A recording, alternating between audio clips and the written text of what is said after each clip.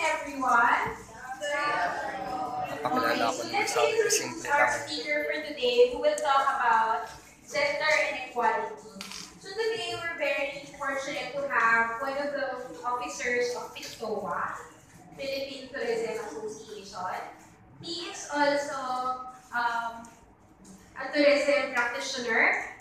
He also completed his Bachelor's of Laws in Springfield this year. To, to, ano. And then he he's also an avid, uh, he also works for the barangay. In fact, he's a public servant.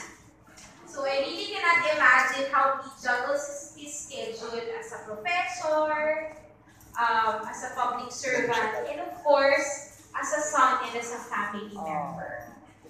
So I've known Sir for like six or seven years.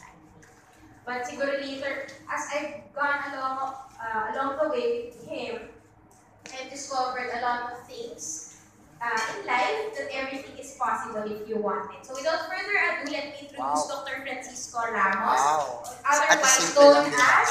Sir Kiko. Yan. Barangay 494. Ito lang Barangay 494. Am I going to use the microphone? Yes. Thank you. Hello. Ayan.